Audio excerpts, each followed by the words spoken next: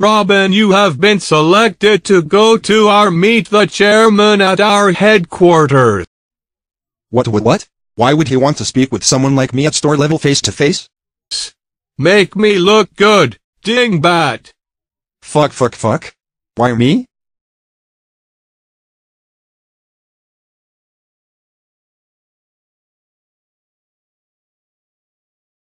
So this is where all that scratch off money is going to?